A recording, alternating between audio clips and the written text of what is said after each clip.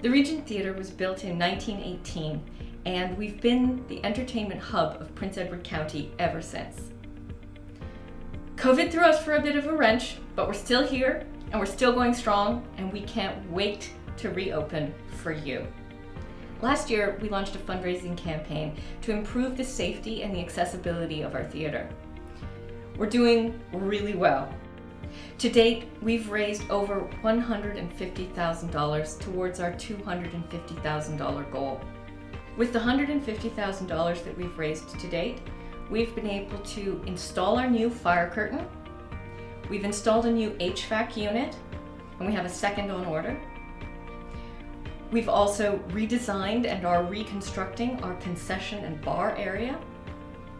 We've installed safety lighting on our exterior doors, and much more.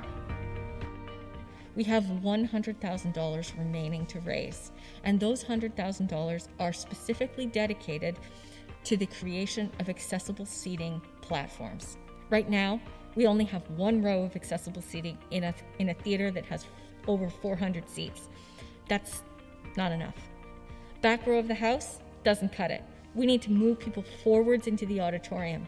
We want to create two accessible seating terraces in the auditorium, here behind me, to the left and to the right of where our existing balcony is. These accessible seating terraces will increase our accessible seating capacity. They will make the experience of coming to the Regent more comfortable for everyone, but especially for those with accessibility needs. You also know from personal experience that the stairs are really hard to navigate, whether it's dark or whether the lights are up. We need to change that and make those safer. We'll also be moving our sound booth further down. By moving our sound booth down, we free up seating on our balcony, which means more raised seats in the house. We can't wait to welcome you back to the theater. And we hope that when we do, it will be to comfortable, accessible seating that everyone can access.